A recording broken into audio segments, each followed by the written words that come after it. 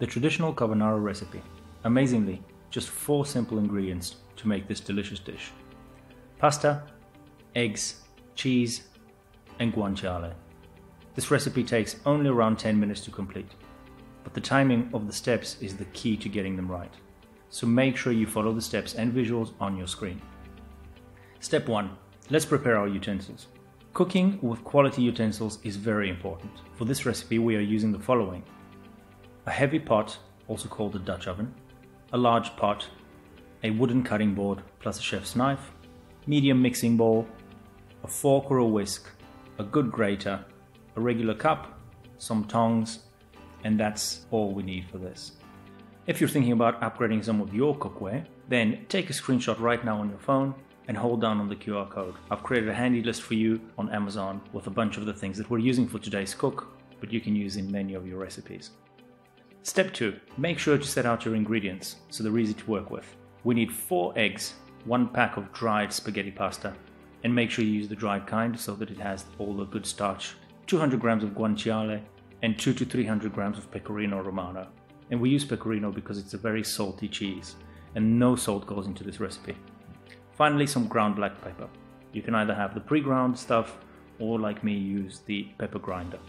Now that everything's set up, let's start cooking. First, remove the skin from your guanciale.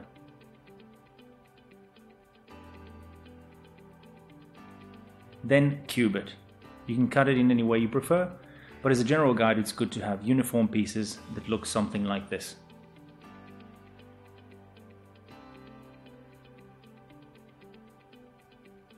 Let's get that on now. Place your cube meat into the heavy pot on medium heat and remember to stir occasionally. You'll see the guanciale rendering down and bringing in all the flavor of the dish, namely the salty and black pepper taste, as well as the oil with the smoky bacon taste. While that cooks, let's move on to the next step. Fill your second pot halfway with water and place onto high heat to get that to a boil. Don't forget to give your guanciale a stir. While those two are on the heat, we can prepare the carbonara mixture. This mixture is relatively simple. Grate the 200 grams of pecorino romano on the fine grater.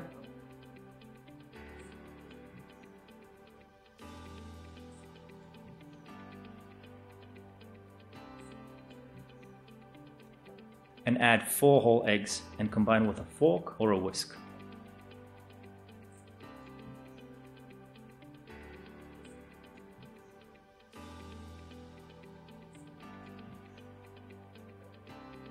The mixture should be pretty thick when you're done. Should look something like this. While you're there, check on your guanciale. Make sure it's rendering nicely and starting to crisp up. We should be about 4 minutes into that now, so give it a little stir. And check on your water as well to see if it's boiling yet. The next steps are a little bit tricky and what makes or breaks this recipe.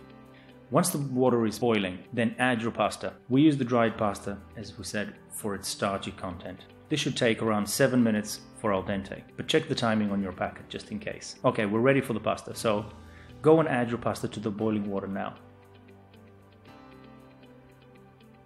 Make sure to go and have a look at your guanciale and give it a little stir. And in 3.5 minutes, we're going to take some of that water out of that pasta. So get your cup ready.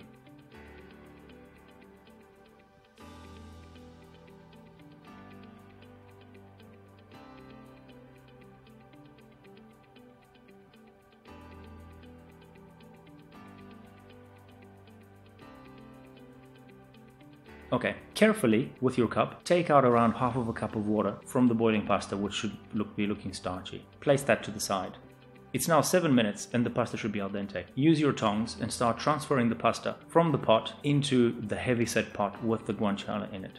Don't worry about drying the pasta. Bring the water across with. Use your tongs to stir and coat the pasta in the pot with the guanciale so the oil gets all over them. Now go to your carbonara sauce and slowly add the water you removed from the cup and whisk it into the sauce to temper it. Once this is done, go back to your pasta mixture and switch off the heat. Make sure to stir through and have all the pasta covered in the oil that's been in the heavyset pot.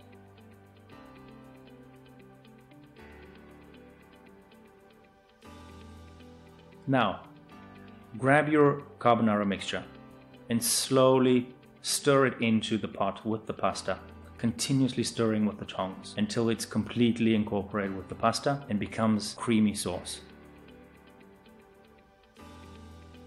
If you need a bit of extra liquid, use some from the pasta water to get it just right. And that's your carbonara done.